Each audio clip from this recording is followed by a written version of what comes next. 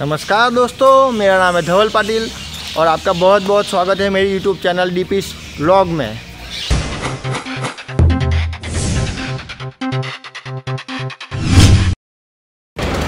आज मैं आया हूँ भरूच और यहाँ से 17 किलोमीटर पर एक प्लेस है, जिसका नाम है कबीरवर जो यहाँ पे बहुत फ़ेमस है। जैसे कि आप मेरे पीछे देख सकते हो और यहाँ रेलवे स्टेशन के बाहर इसका एक पीस भी बनाया है। तो चलो हम पहले कबीरवर चलते हैं।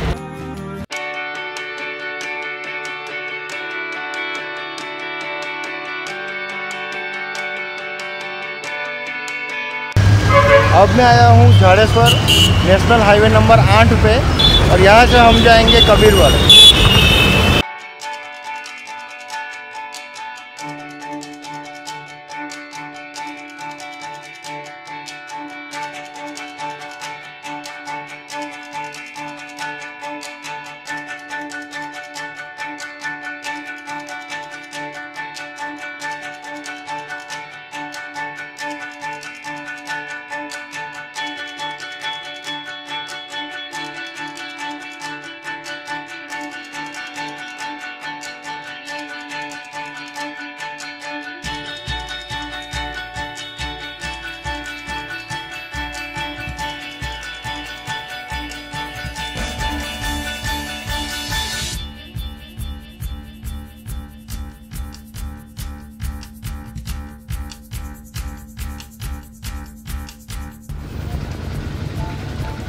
अभी मैं सुकल तीर्थ पहुँचा हूँ दोस्तों तो कबीरवर जाने के लिए मुझे बोट में जाना पड़ेगा उस किनारे पे।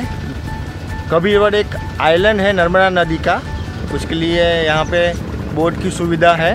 चालीस रुपये की टिकट आएगी तो आपको यहाँ से लेकर जाएगी और रिटर्न भी लेके आएगी शाम को।